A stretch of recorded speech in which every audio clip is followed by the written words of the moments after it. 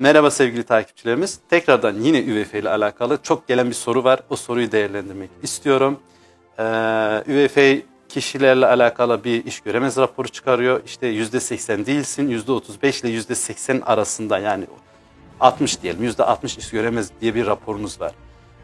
İnsanlar şunu söylüyorlar. Diyorlar ki işte işveren bana yeni bir kontrakt verdi. Yeni bir iş imkanı sunuyor. Ben yeni bir sözleşme alacağım. Veya başka bir yerde yeni bir iş buldum çalışabilir miyim? Ee, teorik olarak bu mümkün ama eğer ki e, hasta kaldığınız iş sözleşmesinin değişikliğe gitmesi durumunda yani kontrat değişir. işte 40 saatlik kontrat 20 saate düşer. Veya e, herhangi yeni bir yerde yeni bir sözleşmeye imza attığınız zaman ÜFE ona şöyle bakar. Eski durum bitti.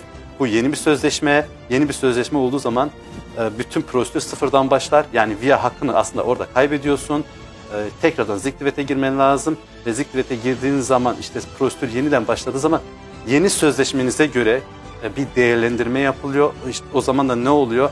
40 saatte 30 saat veya 20 saate düşmüşsün. Örnek veriyoruz.